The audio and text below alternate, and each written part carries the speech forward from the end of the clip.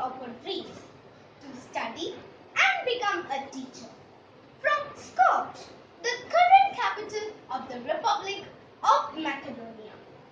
Yes, she is none other than Saint Mother Teresa. Sometimes God comes in the form of humans. Mother Mary Teresa was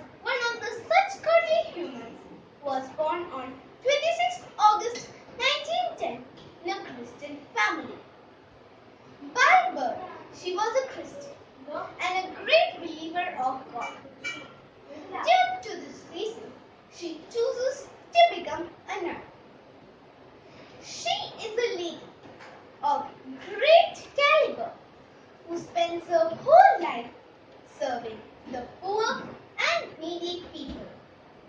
She couldn't tolerate seeing someone in pain and was very sympathetic to them.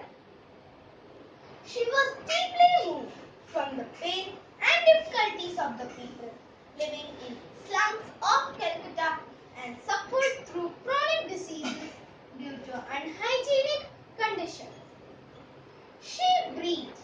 her last breath on 5th September 1997. Even today, even when she is physically absent, her prayers